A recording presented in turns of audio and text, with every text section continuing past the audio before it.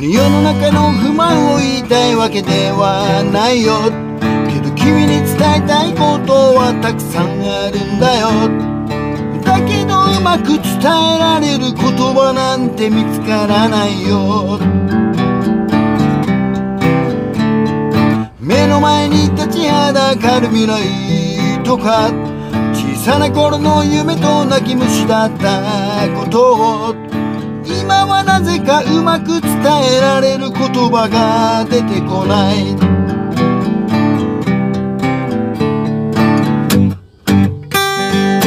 ああそんなこんなもんだなんて自分に言い聞かせて。本当は君に伝えたいよ。些細な話ばかりだけど笑って聞いてくれないか。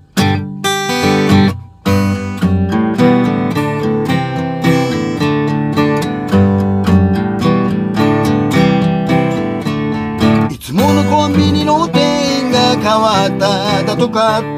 天気予報見て傘持ってったら晴ればったとか。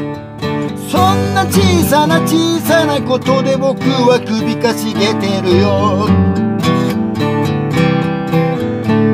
いつも失敗だらけトラウマだらけだよ。嫌なことは嫌と言えるように頑張ってるのさ。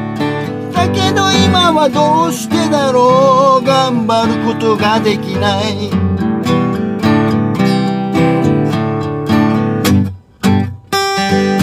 ああそんなこんなもんだなんて自分に言い聞かせて。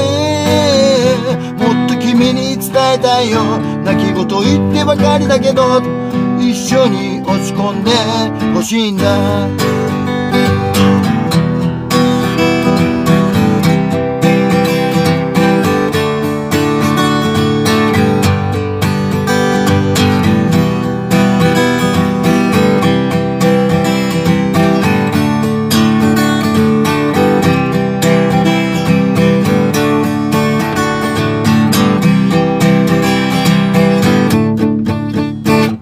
まだ世界中にはびこっているウイルスのことよりたまに見え隠れする厄介な問題より今は君に伝えたいことがたくさんあるのに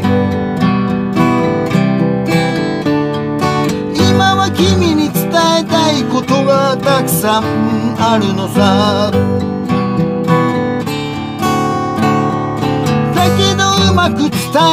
る言葉が今は出てこない。